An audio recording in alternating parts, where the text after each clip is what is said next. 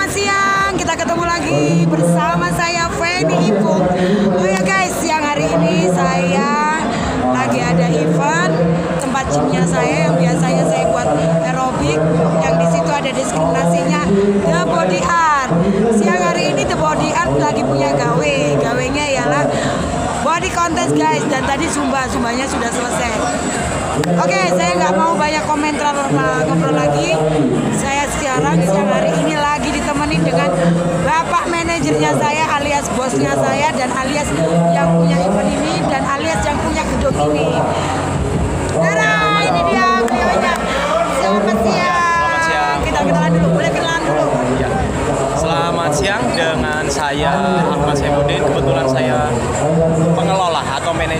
Di The Body Art di tempatnya Pak Fendi. Biasanya mengajar Zumba Bosnya dan saya, bosnya saya. saya cukup muda di dunia perolahragaan. Dan Alhamdulillah saya mempunyai tim yang cukup senior-senior untuk bisa saya tingkatkan untuk lebih membuat Surabaya lebih gemetar lagi. Seperti itu. Oke, itulah beliaunya guys yang sudah menyapa kalian semuanya. Makasih banyak buat beliaunya yang udah mau uh, hadir di channelnya Feni kan. Ya ini bosnya saya. Saya mau nanya-nanya dengan event dengan yang dikelola segini gedenya dan nggak satu aja yang dikelola guys. Saya mau nanya ya, kalian pasti juga pengen tahu.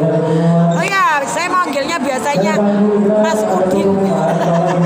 Boleh kan? Boleh, boleh, boleh. Oke Mas Udin, saya mau nanya di tempat ini ya body art ya. Sudah berapa lama body art itu tempat gym intinya itu dibangun? Ya baik, Body Art adalah tempat gym itu meliputi adanya fitness, Ya. adanya aerobik, ada kolam renang. Ya. Di situ berdiri sejak tahun 2006. Oke, saya ntar tangkap dulu.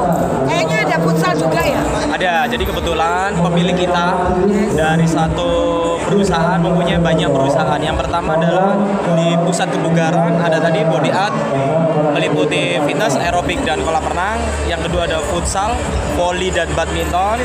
Yang ketiga ada gedung pertemuan yang sekarang kami melaksanakan turnamen ada di sana. Turnamen body contest Jatim Cup Tip Cup. 2020 yang disponsori oleh Body Art langsung Wah, ada keren. saya dan ada juga dari Alami Community. Wah, ada juga keren. ya, ada lagi Bu Feni. Ada di bidang food kita juga bergerak. Adanya restoran, ada catering, kemudian kita ada persewaan alat pesta juga. Seperti itu. Ya, jadi gini guys, aku ulangin lagi ya. Jadi The Body Art ini yang beliau, yang ini, yang punya ownernya ini, beliaunya itu meliputi futsal, badminton ya ada ya. Ada. Nah, terus ada kolam renang juga, ada tempat gym, aerobik, uh, zumba juga ada tempatnya. Terus kebetulan juga ada alami restoran dan catering juga ada dan uh, bakery juga ada, ya kan? Betul. ada bakery. Jadi kalian guys, kalau yang lagi ada posisi di Surabaya apa di mana pun, kalau kalian mau bikin event, monggo ini juga ada tempat gedung seperti ini dan ini bisa eh, 1.500 1.500 orang ya. Oh keren kan? Kalau kalian pengen punya event, monggo datang ke tempat ini. Nanti bisa komentar, minta alamatnya dan nomor WA-nya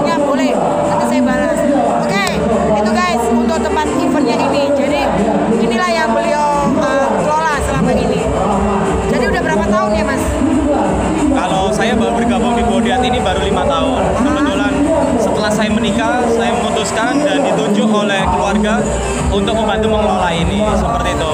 Ada satu lagi Bu Feni, Yes. kalau datang ke Surabaya silakan main ke Body Art. Yes. Tempat fitness yang mempunyai perbedaan dari fitness yang lainnya yaitu kekeluargaan kita. Kita Yes. menciptakan keluarga baru yang hanya ada di Body Art. Terima kasih Mbak Feni. Selamat siang, terima kasih sudah mengundang. Oke, Ya. sebentar dulu. Aku mau nanya eventnya ini. Oh, iya, sabar boleh. dulu, sabar dulu. Boleh. Oke, eh, Mas, ini kan ada event body contest ya. Ya. Berapa lama ini persiapan? Untuk event body contest ini kami siapkan tidak terlalu lama juga. Kenapa? Karena kita juga meng-hire orang-orang yang udah berpengalaman di bidangnya.